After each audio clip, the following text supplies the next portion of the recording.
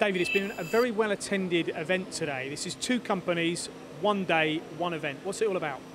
Yeah, what we um, what we wanted to do was um, get an opportunity to show the new VM5 uh, machining centre, and at the same time, uh, Hypermill wanted to hold an event here um, and show everyone their new um, MAXX Machining software.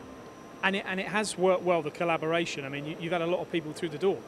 Yeah, we have. We have a lot of um, joint customers, so people who have OpenMind software and also use Hurco machines. But we thought it'd be an opportunity for those customers who have Hurco machines, who don't know that much about CAD-CAM programming, and vice versa, really. People who have OpenMind software and don't really know all the things we can do on the machining side. Okay, so it's a good joint venture. Now let's get on to this machine. New to the range, VM5. Tell us about it. Okay, yes. The, um, the reason for bringing out the VM5 was we've had a very popular machine in the VM1, which became the VM10.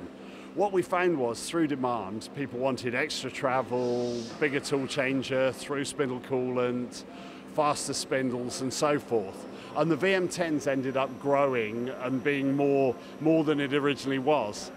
There's still a requirement for simple work, drilling four holes in a, a piece of steel, um, doing simple profiling, and also a lot of our customers work in very small workshops. So what we wanted to do was get a small footprint machine, good machining centre performance for the sort of simple work and the straightforward options and things like that. It looks in a very, very tidy footprint. Now, has this got the latest control from Hurco as well?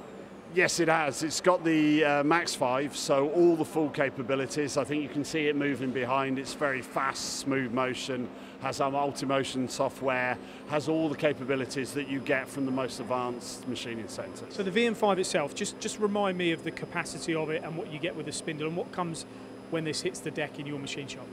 Okay, yeah, we're starting it as an entry-level machine. Um, it's 456 in X by 356 by 356 um, 8,000 RPM spindle. Um, the big selling point really is 1.64 across um, to get into a door, and we can get it under two meters um, as well. So and it's the smallest machine we've, we've produced. And, and that does make a difference because engineers want to get as many spindles in a smaller area as possible.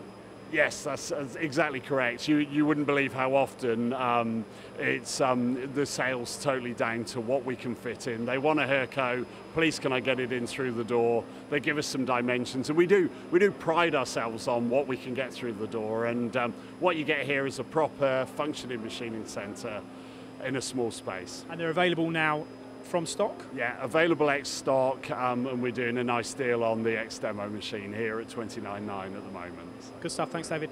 Thank you very much.